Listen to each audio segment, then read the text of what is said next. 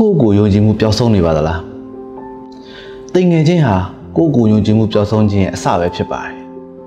လူတစ်ယောက်ဟာလူရသွင်းမခံရတာများလာတဲ့အခါစိတ်ဖိစီးမှုတွေများလာတဲ့အခါအနှိမ်ခံရတာတွေများလာတဲ့အခါအပြစ်တင်ခံရတာတွေများလာတဲ့အခါသူ့ရဲ့မတိစိတ်ပါတိမ်ခံမှုတွေဝင်လာတတ်ပါတယ်တစ်ခါတလေမှာကိုယ့်ထက်ယာရုကြီးရဲ့သူကိုယ့်ထက်ချမ်းသာတဲ့သူကိုယ့်ထက်အစင်တန်းမြင့်တဲ့သူတွေနဲ့တွေ့တဲ့အခါမတိမတာလေးကိုယ့်ရဲ့စိတ်မှာတွန်းဆုံနေတဲ့ပြန်ပါတယ်ဒါကြောင့် ကိုယ့်ကိုယုံကြည်မှုရှိဖို့ဆိုလို့ရှိရင်ကိုယ့်ရဲ့အားနည်းချက်တွေအားသာချက်တွေကိုသိထားဖို့လိုအပ်ပါတယ်မိတ်ဆွေအနေနဲ့ကျွန်တော်တို့တစ်ခုလောက်လိုက်ပြီးစဉ်းစားကြည့်ပါမိတ်ဆွေဟာပူပင်တော့ကတွေကင်းပြီးလိုချင်တာကိုပြည့်ပြည့်စုံစုံရနေတဲ့သူတယောက်လို့ခံစားကြည့်လိုက်ပါနောက်တစ်ခုအနေနဲ့မိတ်ဆွေဟာအကျွေးတွေပက်လေဝိုင်းပြီးညညဆိုပူပန်တော့ကရင်နဲ့အိတ်မပြောတဲ့သူတယောက်လို့တွေးကြည့်လိုက်ပါ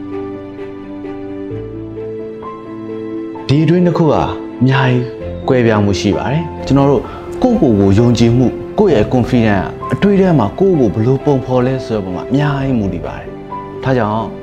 ကိုယ့်ကိုယ်ယုံကြည်မှုရှိဖို့ဆိုရင်ကိုယ့်ရဲ့အားသာချက်တွေကိုတွေးပါကိုယ့်ရဲ့ကောင်းဘက်တွေကိုစဉ်းစားပါကိုယ့်ရဲ့အားနည်းချက်တွေကိုတွန်းလှန်ပါကိုယ့်ရဲ့အားနည်းချက်တွေကိုပြင်ဆင်ပါအဲ့နောက်မှာတော့ကျွန်တော်ရဲ့အတူတူခါးလေးကိုမှတ်လိုက်ပါပြီးရင်တော့အသက်လေးကိုဝါဝရှူလိုက်ပါ